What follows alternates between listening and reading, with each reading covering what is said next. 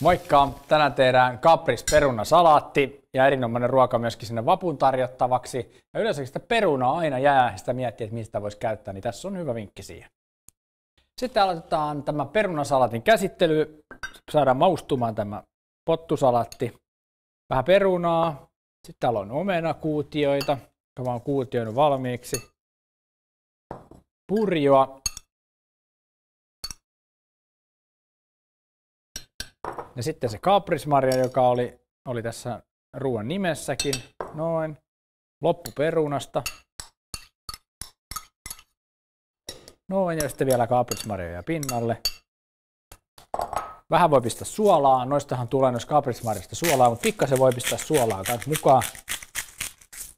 Ja tämän jälkeen sitten tänne kevyt sekoitus, niin saadaan vähän maustumaan nämä kaikki sitten kelmu päälle ja jääkaappiin tunniksi antaa siellä mauttaa santua ja, ja, ja tota, lähdetään tekemään kastiketta.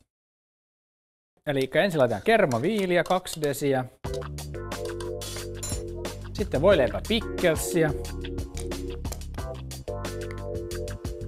Tuli vähän vahvalla soundilla tänään, mutta ei se mitään haittaa. Sinappia.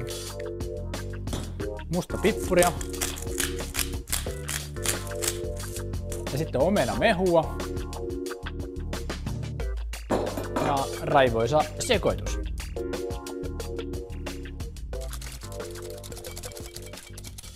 Sitten laitetaan seuraavaksi kastike tähän perunoiden päälle ja sekoitetaan kevyesti ja laitetaan uudelleen jääkaappi vähän tekeytymään.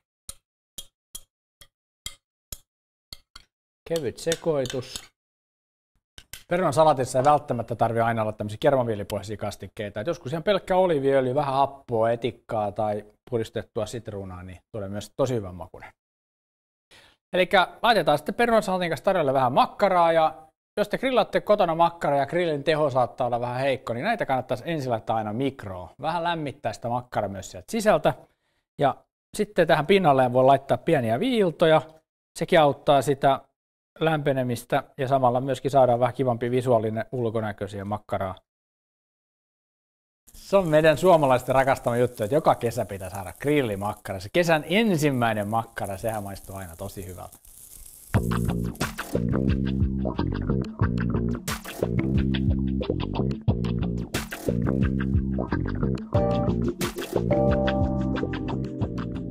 Noin, perunasalaatti on valmis ja siihen grillattu hienot makkarat. Nyt mä julistan virallisesti avatuksi, mitä tänään syötäisiin grillikauden.